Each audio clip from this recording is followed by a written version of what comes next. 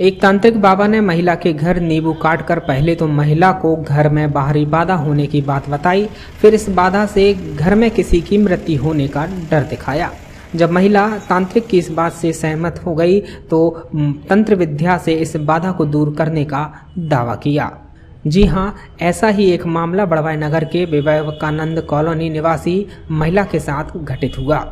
दरअसल खरगोन ज़िले के बड़वा स्थित विवेकानंद कॉलोनी की एक रहवासी महिला ने बड़वा थाने में रिपोर्ट दर्ज करवाई की, जिसमें महिला ने बताया कि एक तांत्रिक बाबा राकेश ने मेरे घर में बाहरी बाधा दूर करने के नाम पर मुझसे एक लाख उनचास हज़ार रुपये ठग लिए।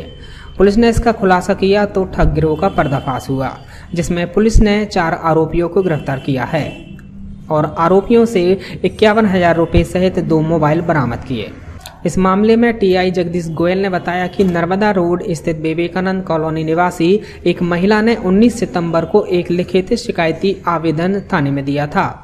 इस आवेदन पर उसने शंकर बाबा धर्मेंद्र व दो अन्य व्यक्तियों द्वारा तांत्रिक विधा के आधार पर मृत्यु का भय दिखाकर मुझसे कुल एक लाख उनचास हज़ार रुपये ऐंठ लिए।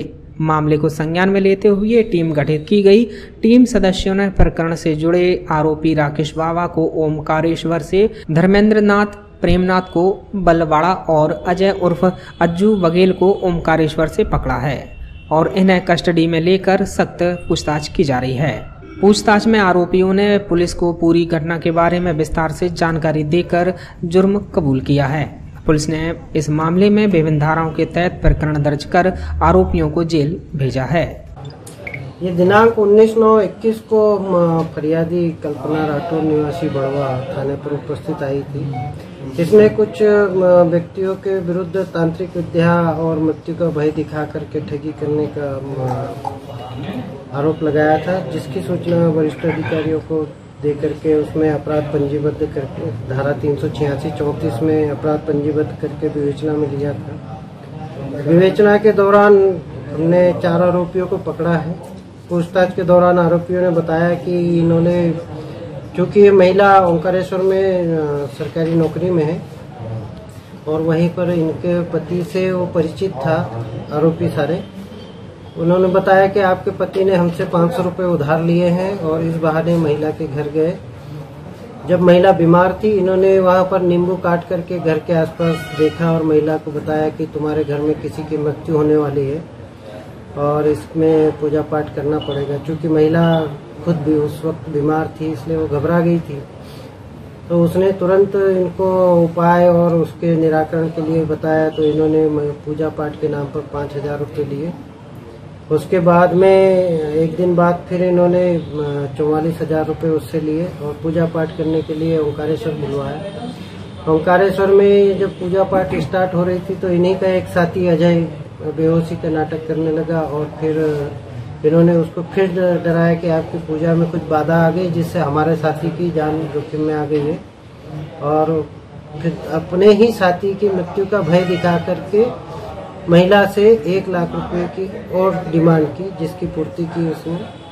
उसके बाद पच्चीस हज़ार रुपये और इन्होंने मांगे क्योंकि महिला के पास में अब कोई पैसा था नहीं तो इसलिए वो पुलिस की मदद के लिए थाने आए। पुलिस ने चारों आरोपियों को पकड़ा है। उनके कब्जे से इक्यानवे हज़ार रुपये केस बरामद किए हैं, दो मोबाइल बरामद किया है। शेष पैसा आरोपियों ने बताया कि इनके द्वारा भंडारे में और स्वयं पे खर्च कर लिया है। इसमें और आरोपी पकड़ाने की संभावना ये चारों आरोपियों का कृत्य था। हमने चारों आरोपियों को गिरफ़्तार करके न्यायालय पेश कर दिया। इसमें एक आरोपी है राकेश पिता सुभाष सोन, सोनगर। ये निवासी बंजर का है थाना बिकनगांव क्षेत्र का। दूसरा है धर्मेन पिता श्रवण। सपेरा जाति का है नाथ। बागोत फाटा थाना बलवाड़ा का है। तीसरा है अजय उर्फ़ अज्जू नारायण बघेल। ये नया बस स्टैंड के पीछे ओंकारेश्वर का है। चौथा है प्रेमनाथ, पिता गप्पूनाथ। ये गोपटगिरी थाना हतोत इंदौर का है। क्योंकि चारों आरोपी ओंकारेश्वर में ही रहते थे और वहीं पर इनकी मुलाकात हुई और वहीं इनकी दोस्ती हुई थी और इन्होंने घटना को अंजाम दिया था। इनके द्वारा और क्या घटनाएँ घटित की गई है, इसके बारे में भी छानबीन चल रही है।